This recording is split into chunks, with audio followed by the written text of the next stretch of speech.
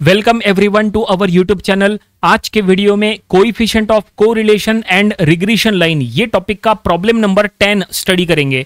तो देखिए, जो प्रॉब्लम आज हमें सॉल्व करना है, वो आपके सामने है। आप कहोगे, ये कैसा प्रॉब्लम है? इसके पहले हमने जो प्रॉब्लम सॉल्व किए थे, वो तो अलग थे, लेकिन ये क्यों अलग है? वो इसीलिए क्योंकि ये एक रिवर्स प्रॉब्लम है। आप इसको रिवर्स प्रॉब्लम कह सकते हैं। क्यों? इसके पहले हमने जितने नाइन प्रॉब्लम सॉल्व किए थे ना, सभी में एक्स एंड वाई का डाटा दिया था। वो डाटा का यूज़ करके हमने coefficient of correlation find out किए और उसके बाद हमने लाइंस ऑफ़ रिग्रेशन की इक्वेशन बनाए थे। लेकिन यहाँ पे उल्टा है। यहाँ पे ऑलरेडी लाइन्स ऑफ़ रिग्रेशन की इक्वेशन दी है। और उसका यूज़ करके हमें coefficient of correlation find out करना है मीन वैल्यूज़ भी फाइंड आउट करना है। ठीक है? तो इसीलिए आप इसको रिवर्स प्रॉब्लम बोल सकते हैं। एग्ज़ाम में एग्ज़ाम में ज़्यादातर टाइम जब ये प्रॉब्लम आता है ना तो एग्ज़ाम में नंबर ऑफ़ स्टूडेंट सॉल्व नहीं कर पाते हैं। उसका रीजन बिल्कुल सिंपल सा रीजन है, क्योंकि ये रिवर्स प्रॉब्लम है, इसलिए नंबर ऑफ़ स्टूडेंट्स की इस टाइप की प्रॉब्लम की प्रैक्टिस नहीं होती। प्रैक्टिस नहीं करने से ये प्रॉब्लम एग्ज़ाम में सॉल्व नहीं होगा। लेकिन ध्यान में रखो, ये इंपॉर्टेंट प्रॉब्लम है। ये प्रॉब्लम या इस टाइप के प्रॉब्लम जनरली एग्ज़ाम में रिपीट होते हैं।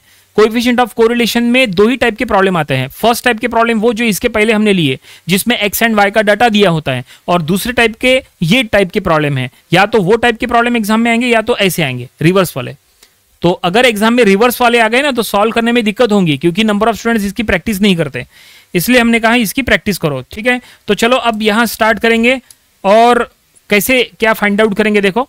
यहाँ पे दो लाइंस देखो क्वेश्चन में हम पढ़ेंगे। दो लाइंस ऑफ़ रिग्रेशन की इक्वेशन दी है। Two lines of regression are given by देखो, दो equations eight X minus ten Y plus sixty six and forty X minus eight Y eighteen Y equal to two one four तो given हम equations यहाँ लिख लेंगे। Given two lines of regression ठीक है ना? ऐसी दो इक्वेशन दिए हैं। ठीक है? इसको हम इक्वेशन नंबर वन कहेंगे, इसको हम इक्वेशन नंबर टू कहेंगे। ये दो lines that is two lines of regression की इक्वेशन दी है। और यहाँ पे क्या दिया है? If sigma square X equal to Y it equal to nine it means यहाँ पे वेरिएंस ऑफ़ एक्स दिया हुआ है। और यहाँ पे देखो, कुछ हमें चीज़ें फाइंड आउट करने के बोला है। सबसे पहले mean values of X and Y it means mean values यानी एक्स बार वाई बार, जो जनरली एक्स एंड वाई का डाटा होता है, तब भी हम फाइंड करते हैं ना, वही वाला। Mean values of X and Y मतलब एक्स बार वाई बार उसके बाद coefficient of correlation between X and Y it means small R वो हमें फाइंड आउट करना है। Standard deviation of Y it means sigma Y and variance of Y it means sigma square Y जैसे यहाँ पे sigma square x दिया है तो ये वेरिएंस ऑफ़ एक्स हो गया। वैसे हमें वेरिएंस ऑफ़ वाई यानी sigma square Y find out करना है। ठीक है? ओके तो यहाँ पे हम पहले आ, देखो हमने गिवन लाइंस ऑफ़ रिग्रेशन यहाँ लिख लिया है।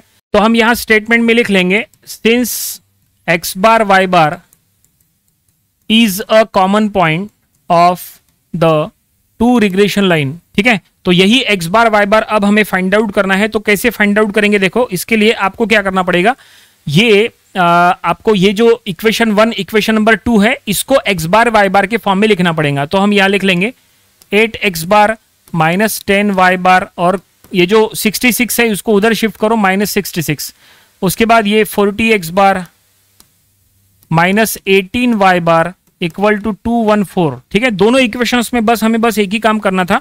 जो ऑलरेडी एक्स एंड वाई के फॉर्म में दिया है, उसको हमें एक्स बार वाई बार के फॉर्म में लिखना था। तो हमने दोनों इक्वेशंस को एक्स बार वाई बार के फॉर्म में लिख लिए। बस यहाँ से हमें X bar Y bar find out करना है। So there four X bar हम यहाँ निकाल लेंगे।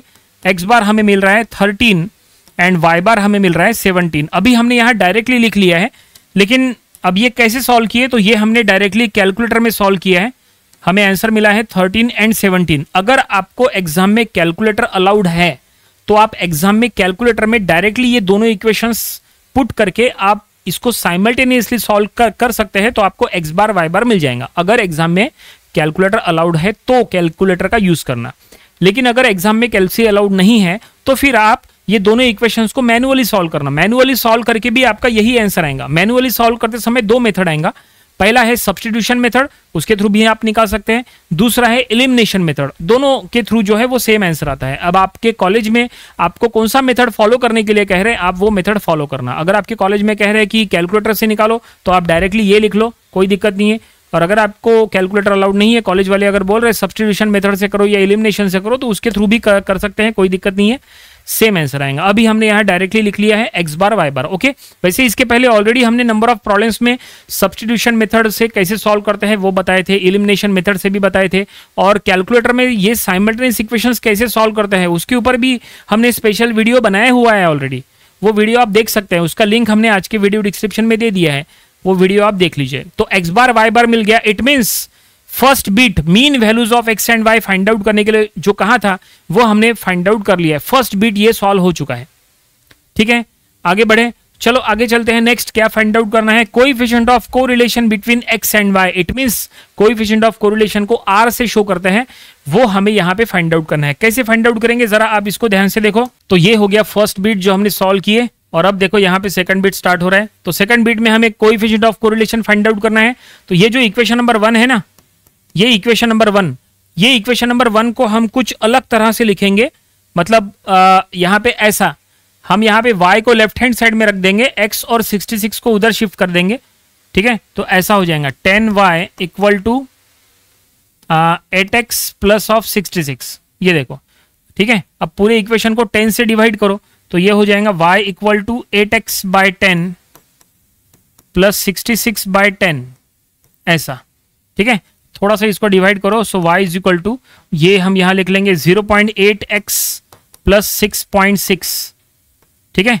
तो ये हमने पहला इक्वेशन बना लिया। इनडायरेक्टली हम क्या कर रहे हैं? Regression line y on x and x on y की इक्वेशन बना रहे हैं। ये हो गया regression line y on x का इक्वेशन जिसके लेफ़्ट साइड में y है और राइट साइड में x है। Regression line y on x अब चलो regression line x on y की इक्वेशन बनाते हैं।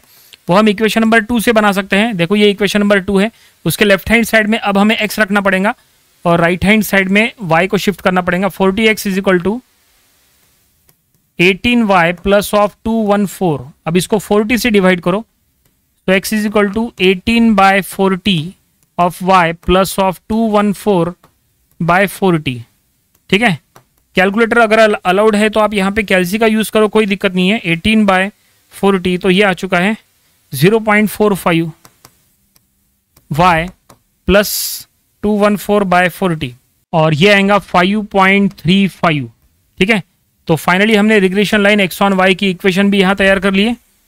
ठीक है? ये regression line y on x और ये regression line x on y ये काफ़ी इंपॉर्टेंट रहेगा क्योंकि इसका यूज़ करके अब आगे हमें क्या फाइंड आउट करना है? Coefficient of correlation r find out करना है। और यहाँ पे आप देख सकते हैं, ये जो आपने दो इक्वेशन बनाए ना, उसमें से पहले ये जो इक्वेशन है, यहाँ पे जो 0.8 है, वो 0.8 क्या है?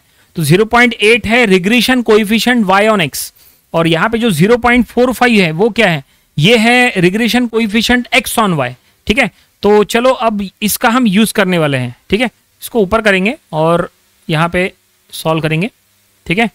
तो देखते हैं रिग्रेशन कोइफिशिएंट कैसे हम यहाँ यूज़ करेंगे। तो हम यहाँ लिख लेंगे regression coefficient y on x is तो वो क्या होता है? Regression coefficient y on x होता है r sigma y by sigma x is equal to ये है यहाँ पे 0.8 तो हम यहाँ लिख लेंगे 0.8 regression coefficient y on x ठीक है? ये हमने लिख लिए r sigma y by sigma x that is 0.8 ये इंपॉर्टेंट है। और बिल्कुल इसी तरह से regression coefficient x on y जो हमको उधर से इक्वेशन से मिलने वाला है तो वो हम यहाँ लिख लेंगे। तो ये r sigma x by sigma y तो ये है 0.45 ठीक है? तो regression coefficient x on y and y on x दोनों हमने यहाँ पे मेंशन कर लिया है। ठीक है? अब ये जो इक्वेशंस मिली है, इसको equation number A and B कहो। ये इक्वेशन नंबर ए है, ये इक्वेशन नंबर बी है। अब क्या करो, ये दोनों इक्वेशंस को मल्टीप्लाई कर लो। ठीक है? L H S plus L H S R H S plus R H S so equation number A into equation number B दोनों इक्वेशन को मल्टीप्लाई करो. Left hand side plus left hand side into left hand side so ये हो जाएगा r square ठीक है ना? आप चाहे तो स्टेप वाइज कर लो. R sigma y by sigma x into r sigma x by sigma y ये हो गया left hand side into left hand side right hand side into right hand side so zero point eight into zero point four five तो left hand side में हो जाएगा r square और right hand side में ये 0.8 point eight into zero कर लेंगे। तो ये आ जाएगा 0.36 ठीक है? और इसका अंडर रूट कर लेंगे तो आर का वैल्यू हमें मिल जाएगा 0.6 so finally coefficient of correlation between x and y find out करने के लिए जो कहा था ये हमने वो फाइंड आउट कर लिए क्वेश्चन में लिखा था find the coefficient of correlation between x and y तो वो हमने फाइंड आउट कर लिए small r that is the coefficient of correlation between x and y is 0.6 ये हमें मिल चुका है और यहाँ पे ये हमारा सेकंड बिट यहाँ पे फाइंड आउट हो चुका है। आप चाहे तो यहाँ स्टेटमेंट में साइड में लिख सकते हैं। तो ये हमने स्टेटमेंट में यहाँ लिख दिया है कि therefore coefficient of correlation between x and y is 0.6 ये हमने इस तरह से स्टेटमेंट में लिख लिया है। ठीक है? सेकंड बिट भी हमने सॉल्व कर लिए उम्मीद करते हैं आपको दो बिट समझ में आए होंगे, कैसे सॉल्व हुआ है। चलो, आगे बढ़ते हैं थर्ड बिट की तरफ़। अब आप समझ गए होंगे एग्ज़ाम में ये टाइप के प्रॉब्लम क्यों एग्ज़ाम में सॉल्व कर नहीं पाते नंबर ऑफ़ स्टूडेंट्स क्योंकि इस तरह का कंफ्यूजन हो सकता है नंबर ऑफ़ स्टूडेंट्स को। ठीक है ना? क्योंकि उनको लगता है कि coefficient of correlation and regression के एक ही टाइप के प्रॉब्लम एग्ज़ाम में आते हैं, जिसमें हमेशा एक्स और वाई का डाटा दिया होता है। नहीं, ऐसा नहीं है। ये टाइप के प्रॉब्लम्स भी एग्ज़ाम में आते हैं तो आपको इसकी भी अच्छी खासी प्रिपरेशन करना चाहिए। और इसमें ज़्यादा नहीं है इसमें दो तीन आ, बस प्रॉब्लम है इसमें बहुत ज़्यादा वेराइटी ऑफ़ प्रॉब्लम्स नहीं है। दो तीन प्रॉब्लम्स है जो बार बार बार बार रिपीट होते हैं तो उसमें से ये एक प्रॉब्लम है ठीक है? तो पहले दो बीट सॉल्व हो गए अब है next standard deviation of y it mean sigma y यहाँ पे ये जो दिया है ना सिग्मा स्क्योर एक्स तो ये क्या है? ये वेरिएंस ऑफ़ एक्स है। इट मीन्स यहाँ पे जैसे variance of y find out करना है ना ये वो दिया है वेरिएंस ऑफ़ एक्स दिया है।